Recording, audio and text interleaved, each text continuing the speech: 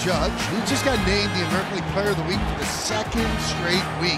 Who else you gonna pick? Swung on and hit in the air to left center field. That ball is high. It is far. It is down. It's not that easy to hit home runs.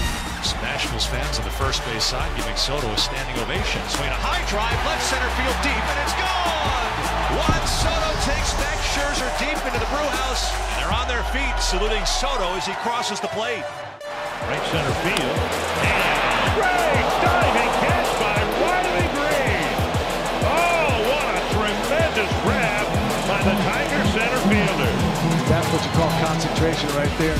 Well, we'll see if they can do it. If they can walk it off here with Rosario.